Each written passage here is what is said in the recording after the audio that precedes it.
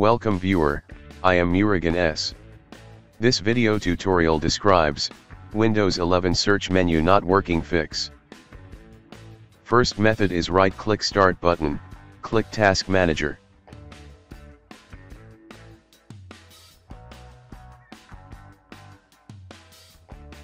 Click more details. Click process tab.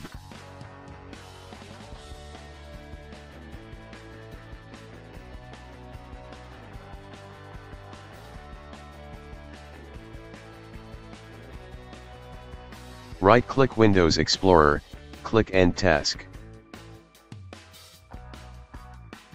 Click File, click Run New Task. Check Create this task with administrative privileges. Type explorer.exe.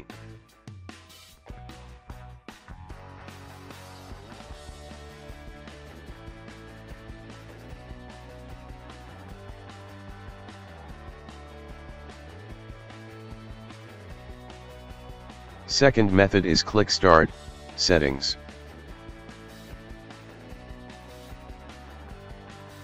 Click System.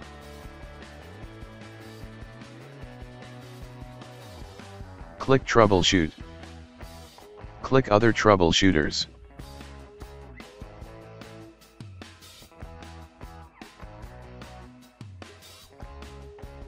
Search and Indexing.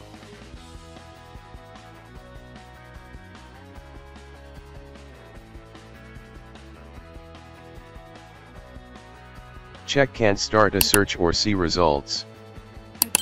Click Next.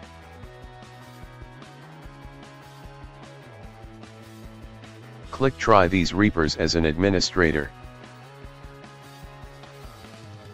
I hope this video tutorial helps to you, please like, share and don't forget to subscribe my channel, thank you very much, see you next video.